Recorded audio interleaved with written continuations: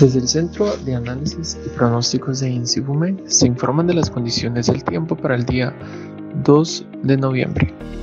Actualmente a esta hora de la mañana, en la imagen satelital en canal visible, se observan pocas nubes del sur al centro del país con alta radiación solar. Y en lo que es el norte, Caribe, franja transversal del norte y occidente, se presenta abundante nubosidad sin descartar lluvias a esta hora de la mañana. El mapa de superficie nos indica que se sigue desplazando el segundo frente frío al norte del Petén para el día de hoy con influencia del sistema de alta presión. Y con respecto al monitoreo de la temporada de ciclones tropicales, en el Océano Atlántico se monitorea un sistema de baja presión con posibilidades bajas para desarrollarse en los próximos días. Y con respecto en el Océano Pacífico, se continúa el monitoreo de la tormenta tropical Pilar, la cual se espera que entre hoy y mañana salga de las zonas de alerta del plan operativo de ciclones tropicales de Insibume. Sin embargo, debido a su cercanía, aún para el día de hoy mantendrá ingreso de humedad al país.